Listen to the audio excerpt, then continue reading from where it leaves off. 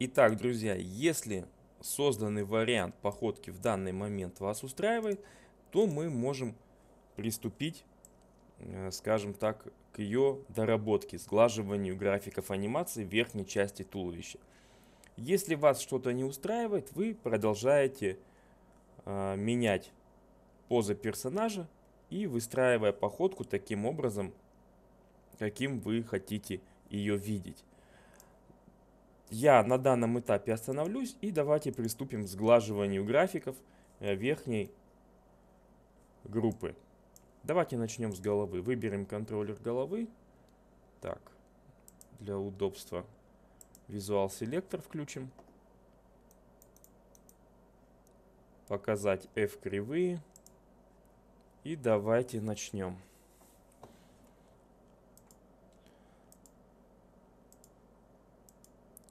Так, по позициям у нас, в принципе, анимации не было. У нас шло только э, вращение. Поскольку у нас с вами в дальнейшем будет цикл, то давайте мы сделаем так. Проверим координаты по каждой оси в нулевом кадре и в 24. Так, здесь 0, здесь 0, совпадает. В принципе, здесь можно ничего не трогать. Вращение Y. Вот по Y мы можем удалить все вот эти вот ключи. Тем самым сгладив график. И посмотрим, что мы имеем по Z. Так, минус 2. Давайте здесь тоже сделаем минус 2. Так, и первый и последний кадр. 0, 0. Очень хорошо. А теперь давайте начнем с парных контроллеров. Значит, контроллеры ключиц, вот они в виде таких многоугольников, мы с вами не трогали. Мы с вами работали с плечами. Или же давайте прежде, чем приступить к работе с плечами, Поработаем с контроллером груди. Так, показать F кривые. Что мы имеем здесь? То же самое. Смотрим только вращение. Мы вращали по оси Z. Вот у нас есть такие вот промежуточные кадры, которые мы в принципе с вами можем удалить. Очень хорошо. Так, ну все, теперь вот, пожалуй, и перейдем парным контроллерам.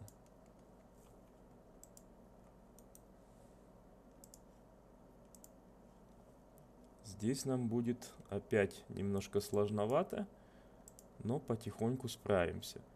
Снимаем показывать все кривые. Позицию мы с вами не трогали. Давайте начнем с вращения. Посмотрим вращение по оси X у левого контроллера и вращение по оси X у правого контроллера.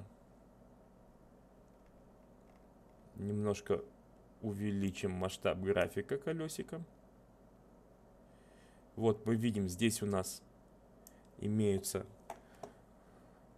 обратные параболы. В принципе, вот здесь вот, вот эти средние ключи мы можем удалить. Очень хорошо. Здесь график полностью совпадает.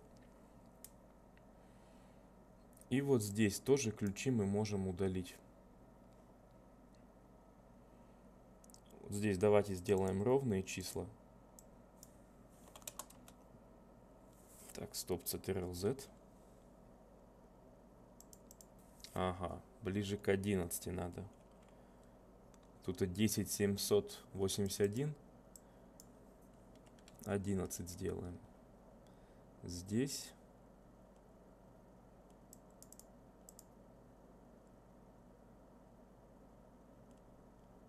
И здесь.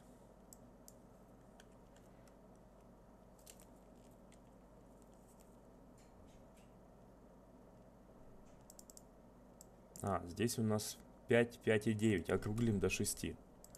Округлим до 6. Так, здесь округлим до 11. Здесь снова округлим до 6. Амплитуда колебаний немножко разная, но это и хорошо. Давайте здесь трогать не будем. И проверим начальные и конечные точки. Вот у нас не совпадает. Здесь мы исправили 11. И здесь нам тогда надо уже выставить 11. Так, здесь у нас 6. И здесь надо сделать ровно 6. Потому что когда мы с вами продолжим цикл, у нас вот здесь вот кривая должна идти ровно. Так, ну что ж, хорошо. Перейдем к вращению по оси Y. Так.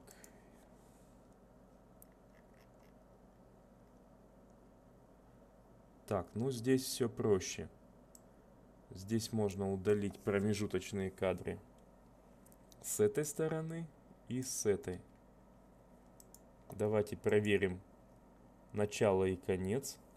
Так, минус 84. А, минус 34, извиняюсь. Округлим до ровной цифры. Здесь минус 50.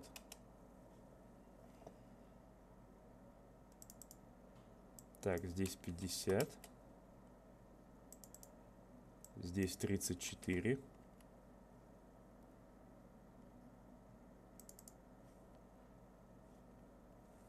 Минус 34. И здесь минус 50.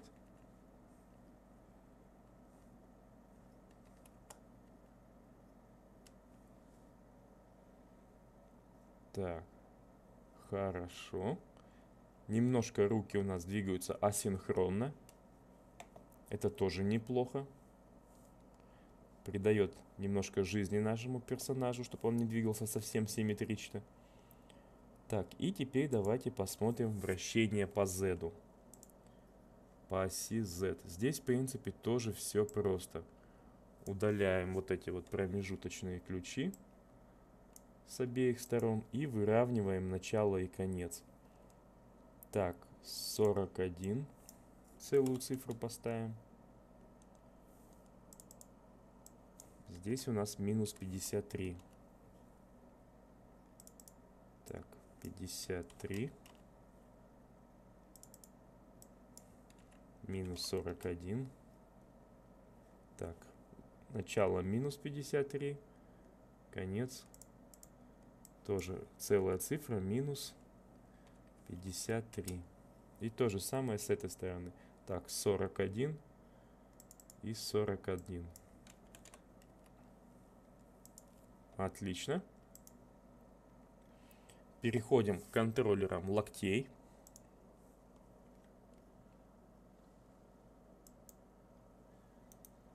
Показать F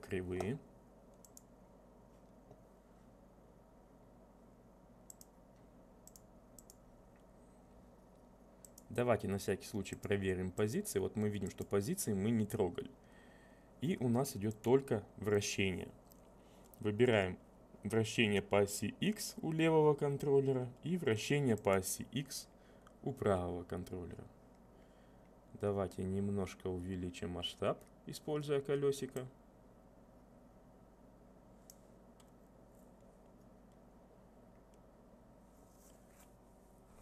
И удалим промежуточные ключи в этой точке графика и здесь. То есть вот очень удобно, когда вы работаете с парными графиками и э, выбираете одни и те же оси, вы можете сравнивать.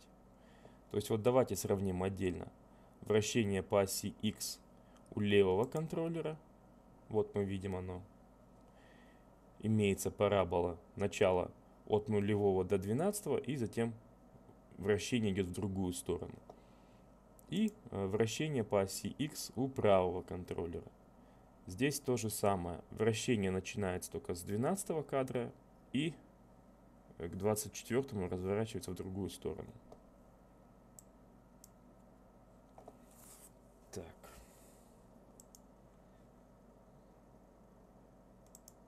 Значит, теперь по отдельности давайте-ка выровняем. 0, 0. И вот здесь вот тоже 0.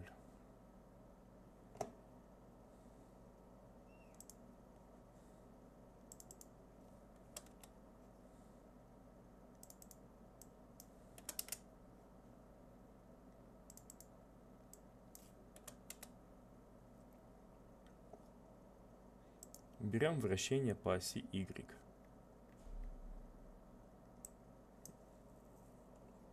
Чтобы добавить ось, зажимаем кнопку Ctrl и выбираем нужную нам ось с противоположной стороны. Так, а вот здесь у нас графики идут, получается, зеркально немножко друг от друга. Если здесь пологая часть, то пологая часть у второго графика, она вот здесь. Так, значит давайте сделаем следующее. Удалим промежуточные кадры вот здесь вот. И вот здесь вот.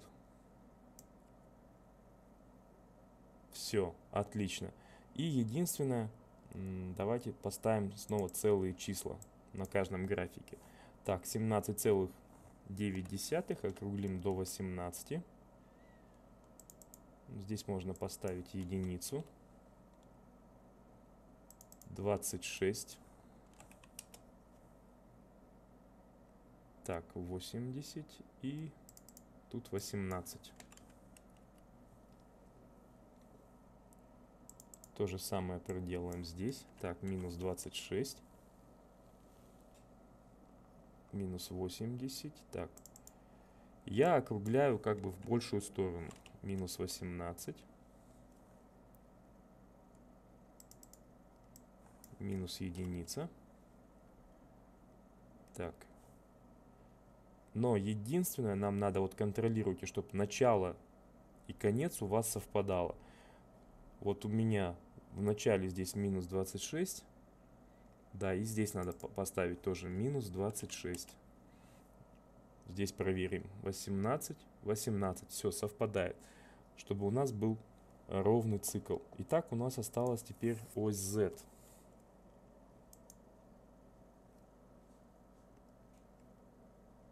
Давайте увеличим график.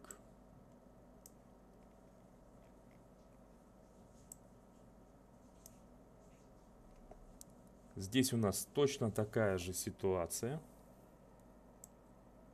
Удалим крайние точки здесь, то есть не крайние, а промежуточные, и вот здесь. И каждый график теперь выровняем отдельно. Так, значит 0.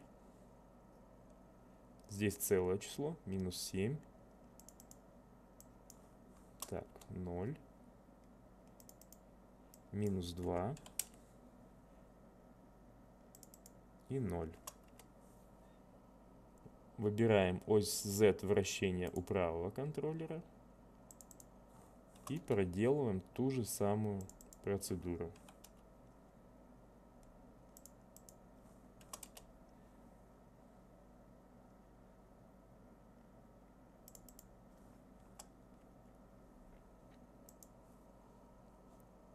Так, ну что ж, мы с вами провели сглаживание всех основных контроллеров. Давайте просмотрим на конечный результат данной походки. Зайдем во вкладку представления и сменим на затенение гура. Давайте зайдем теперь в слои и скроем контроль объекты. Снимем со всего выделения. Выставим персонаж, наверное, опять вот в три четверти оборота начнем и посмотрим.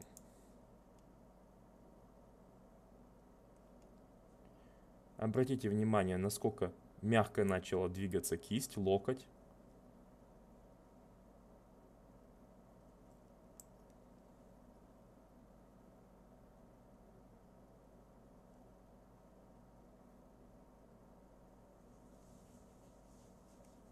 На данном этапе походку можно считать законченной. Но опять я хочу сказать самое главное, что характер походки зависит от того, как вы ее выстраиваете. Если вы руки приведете ближе или ниже, измените амплитуду шага, измените колебания таза и так далее, то вы получите именно ту походку, которую хотите вы. А, когда вы оцениваете, скажем так, э, данный результат, вот именно сейчас, который я сделал, показал вам, вы помните о том, что это делал я. А когда вы будете создавать свое, ваш результат будет совершенно другим. Э, моя задача показать вам, как всегда, именно принцип работы в 3D пакете. В данном случае мы работаем с вами в программе Cinema 4D. Сохраните теперь данный файл. Я предлагаю его вообще сохранить в отдельную папку. Почему? Потому что после того, как мы с вами создадим несколько вариантов походки, а, мы потом сделаем зацикливание анимации и я покажу, как данные движения сохранять в виде анимационных треков, которые вы можете скапливать э, в свою отдельную библиотеку движений для персонажа. И в следующий раз, когда захотите применить тот или иной стиль походки или какое-то анимационное движение – а, вам достаточно будет просто его достать из библиотеки и а, вставить во вкладку треков движения. Ну что ж, образец данного файла я оставлю ссылочку под видео. Если нравится палец вверх, не нравится палец вниз, а, голосуйте, пишите свои комментарии, пишите отзывы, советуйте канал своим друзьям. И всем творческих успехов. До новых встреч!